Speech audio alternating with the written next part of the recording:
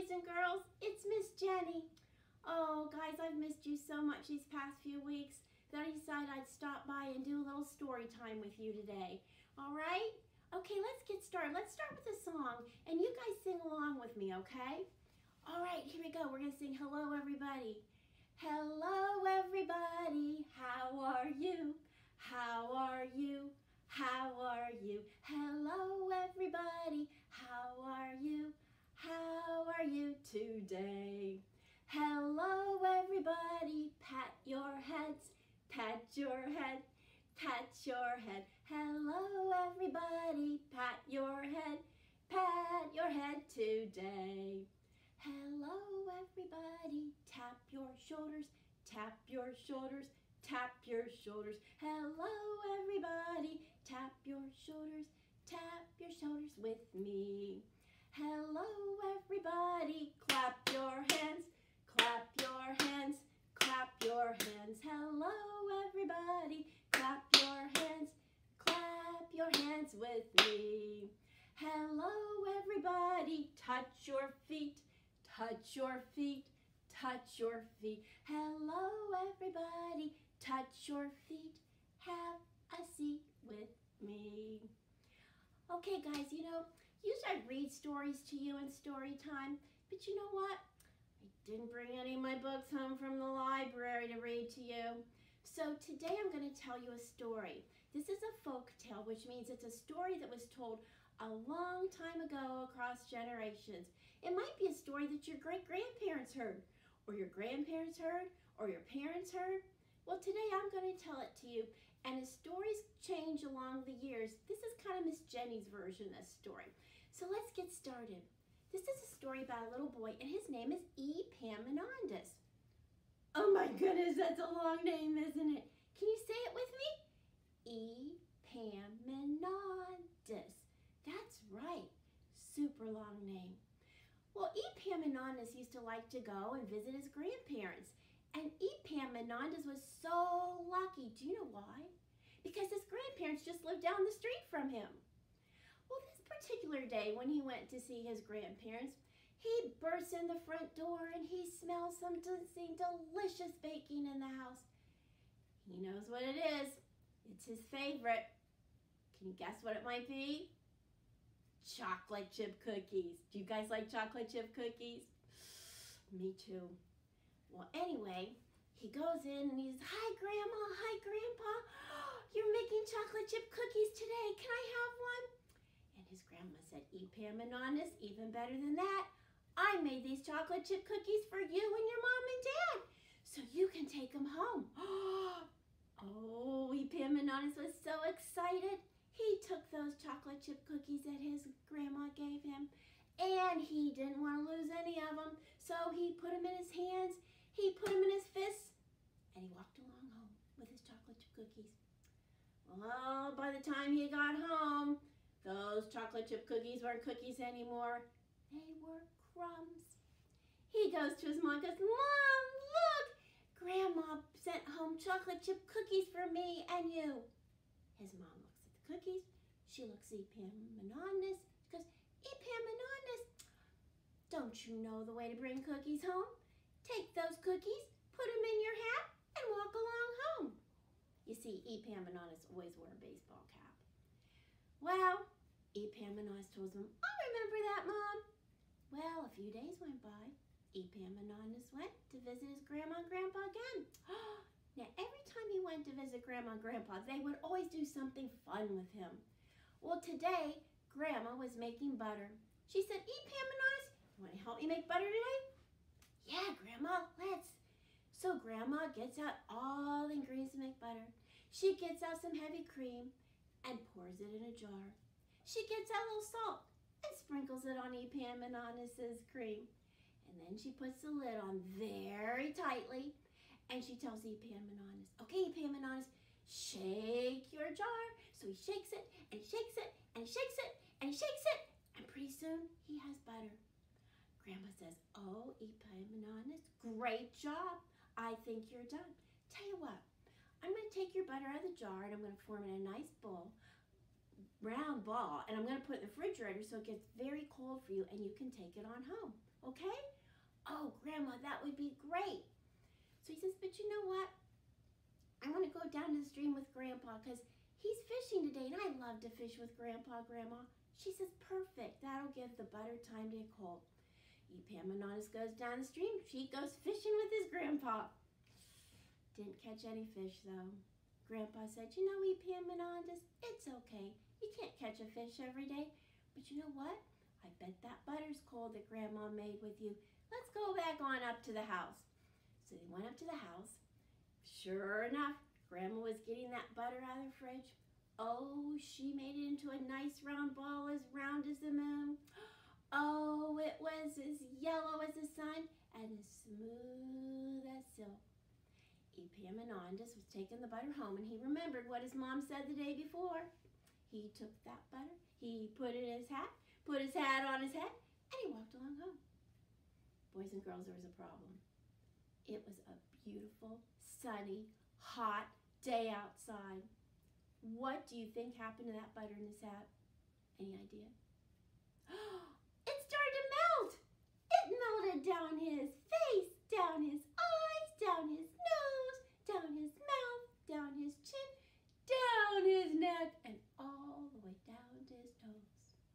Well, by the time he got home and he ran in the house and he said to his mom, Mom, look as he took off his cap. Grandma and I made fresh butter. Won't it be great to eat on our toast tomorrow morning for breakfast? His mom said, Pam and Epaminondas, you have more butter on you than in your hat. Don't you know the way to bring butter home is to go down to the creek and you're to cool it in the water and cool it in the water and cool it in the water and bring it on home. Can you remember Epaminondas? I'll remember, Mom. Well, a few days had gone by. And Epaminondas' mom got a phone call from his grandparents. It was his grandpa this time. His grandpa told his mom, Oh, you might want to send Epaminondas on over. Daisy May had her puppies and they're ready to go. So send them on down. So as soon as mom got off the phone, she says, Epaminondas, guess what? Daisy May had her puppies. Grandpa just called and said you should go on down there and see them. So Epaminondas, in his excitement, got his hat, put his hat on his head, ran down to Grandma and Grandpa's house. Oh, and as he walked in the door, he saw Daisy May with all her puppies. Oh, they were so cute and cuddly and frisky and jumpy and licky and waggy. Oh, he had so much fun with those puppies. And Grandma and Grandpa said, Epaminondas, your mom said you could have one of these puppies. Would you like to pick one and take one home for you to take care of and love? Epaminondas was so excited. He picked the friskiest, the jumpiest, the wiggliest, the cuddliest puppy of the batch. And he took that puppy on home. Now he remembered what his mama said. That you go down the stream and you cool him in the water and you cool him in the water and you cool him in the and you bring him on home. Well, by the time she, he brought his little puppy home, that puppy wasn't so frisky and wiggly. It was a cold, shivering puppy. As he walked in the door, his mama said, Epaminondas, what do you have?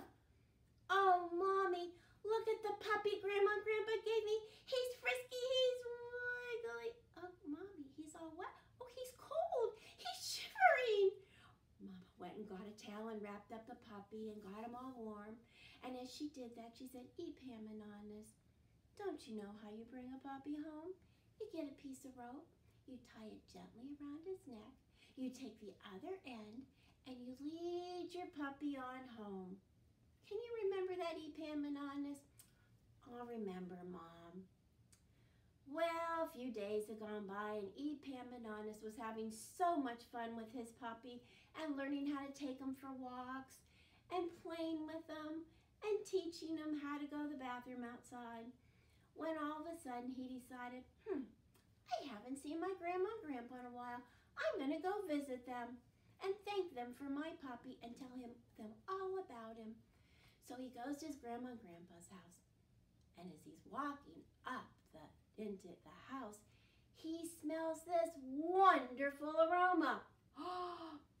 he knew what that aroma was. It was bread. It must be bread making day. He went in and he said, Grandma, are you making fresh bread today? And Grandma said, Epaminondas, I sure am. Grandma, can I take a loaf home? Well, of course you can, Epaminondas. So Epaminondas remembered what his mama said. He got a rope, piece of rope, took it out of his back pocket, took that rope, tied it around the bread, took the other end of the rope, and he led the bread on home. He pulled it down the sidewalk. He pulled it through the mud puddle at the end of Mrs. Jones' driveway. He pulled it through his front yard. He pulled fresh mulch that his dad had just put down around all the bushes and into the house.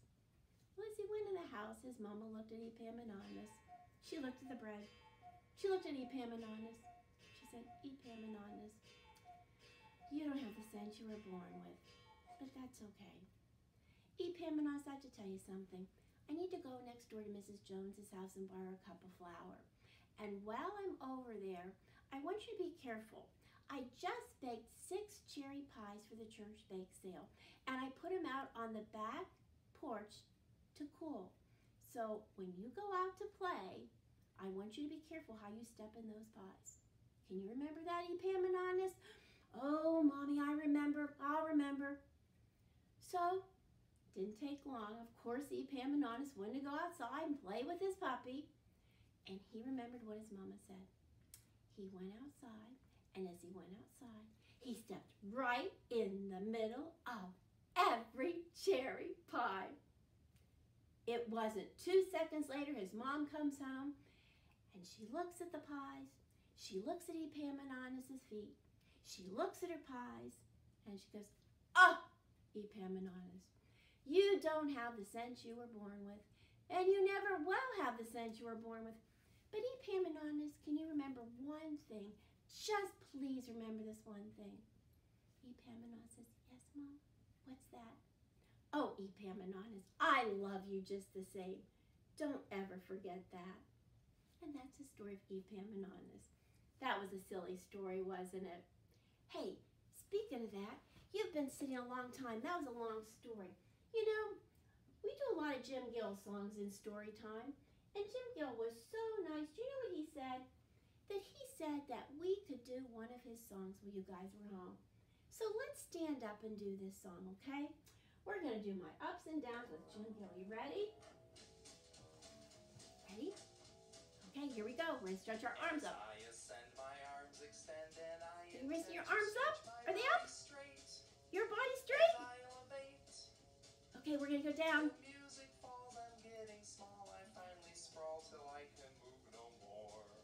Are you on the floor? Oh my gosh, here we go. We're gonna go up again. We're going up, up, up, up. Are you on your tiptoes? Are you real high? Are you touching sky? We're sinking. Uh-oh. Are you on your kneecaps? Are you collapsed on the floor? What's up, up, up? Can you stretch like elastic? Here we go, we're going down.